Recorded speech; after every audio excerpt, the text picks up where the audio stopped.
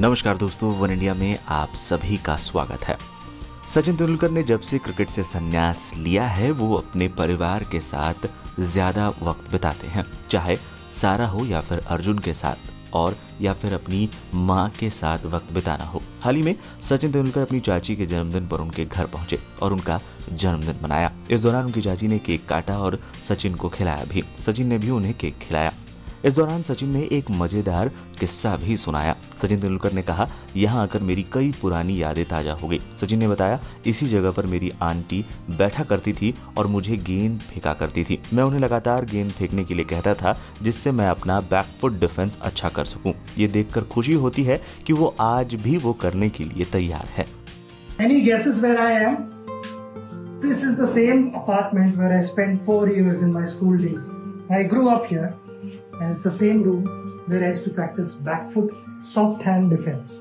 But that time, I used to practice with a golf ball.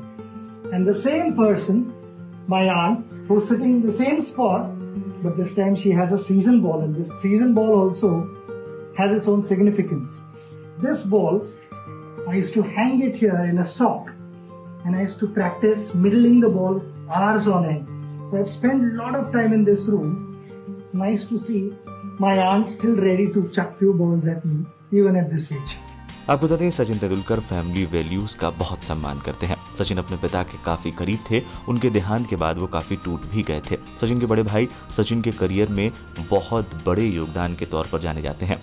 बचपन से ही सचिन के cricket को लेकर उन्होंने उनकी बहुत मदद की है। सचिन तेंदुलकर का बेटा अर्जुन तेंदुलकर भी अब आगे बढ़कर क्रिकेटर बनना चाहता है और फ़िलहाल मुंबई इंडियंस की टीम के साथ यूएई में है और टीम के बल्लेबाजों को नेट्स में गेंदबाजी करता है। हाल के दिनों में अर्जुन के क्रिकेट में बहुत सुधार भी नज़र आया है। सचिन तेंदुलकर जिस तरीके से अपने आंट का बर्थडे मनाने पहुँचे, उससे साफ़ पता चलता है कि वो फैमिली वैल्यूज़ को कितना महत्व देते हैं।